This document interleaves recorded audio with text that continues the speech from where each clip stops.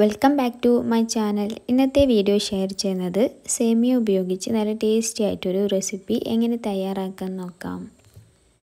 ആദ്യം ഒരു പാനിലേക്ക് രണ്ട് ടേബിൾ സ്പൂൺ നെയ്യ് ഒഴിച്ചു കൊടുക്കാം. ശേഷം നമുക്ക് സേമിയ ഒന്ന് വറുത്തെടുക്കാം.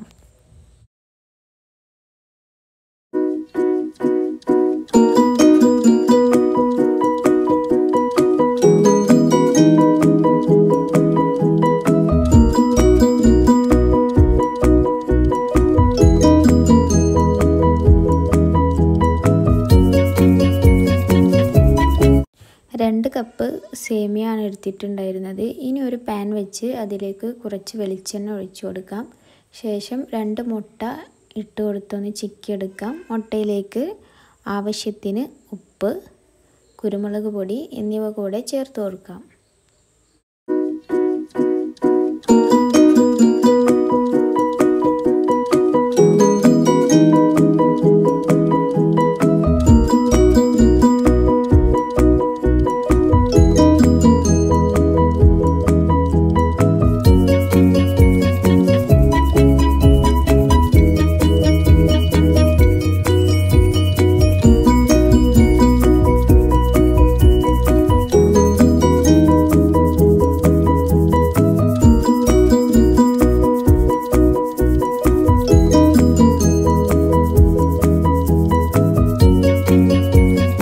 മുട്ട ചിക്കിയതിന് ശേഷം നമുക്കൊരു മൂന്ന് നാല് ടേബിൾ സ്പൂൺ വരെ ഓയിൽ ചേർത്ത് കൊടുക്കാം.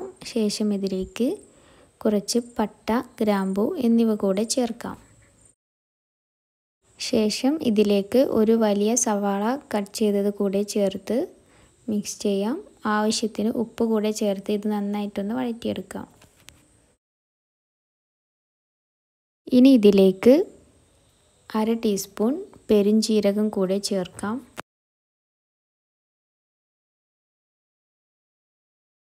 സവാള നന്നായി വഴറ്റിയതിന് ശേഷം കുറച്ച് ഇഞ്ചി വെളുത്തുള്ളി പച്ചമുളക് കട്ട് ചെയ്തത് കൂടി ഇതിലേക്ക് ചേർത്ത് ഒന്ന് വഴറ്റിയെടുക്കണം.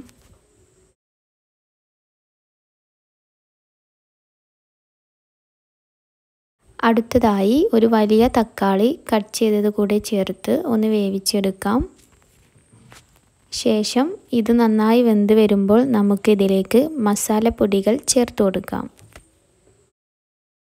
കാൽ ടീസ്പൂൺ മഞ്ഞൾപ്പൊടി രണ്ട് ടീസ്പൂൺ ചിക്കൻ മസാല കുറച്ച് കറിവേപ്പില മല്ലിയില എന്നിവ കൂടെ ചേർത്ത് കൊടുക്കാം.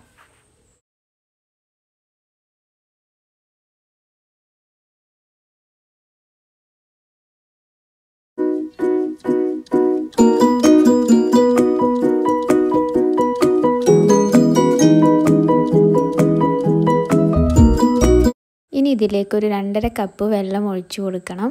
ശേഷം നമുക്ക് വറുത്ത സേമിയ ഇതിലേക്ക് ചേർത്ത് കൊടുത്ത് ഒരു പതിനഞ്ച് മിനിറ്റ് മീഡിയം ഫ്ലെയിമിൽ ഒന്ന് വേവിച്ചെടുക്കാം.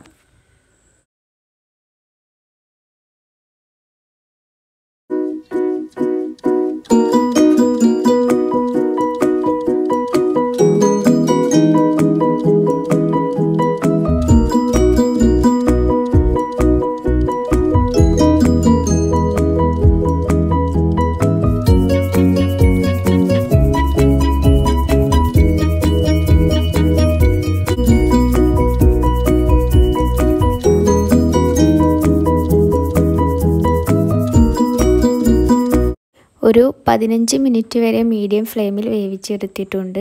അപ്പോൾ നമ്മളുടെ സേമിയ വെള്ളമെല്ലാം വെറ്റി നല്ലപോലെ വെന്ത് വന്നിട്ടുണ്ട്.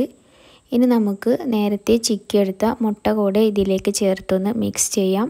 ഫ്ലെയിം ഓഫ് ചെയ്തതിന് ശേഷം ചെയ്താൽ മതി. നല്ല ടേസ്റ്റി ആയിട്ടുള്ള സേമിയ റെസിപ്പി ഇവിടെ തയ്യാറായിട്ടുണ്ട്. നിങ്ങൾക്ക് ഈ വീഡിയോ ഇഷ്ടമായെങ്കിൽ എല്ലാവരും ഒന്ന് ട്രൈ ചെയ്ത് നോക്കണം. From Iswell, like, share and subscribe. Thank you.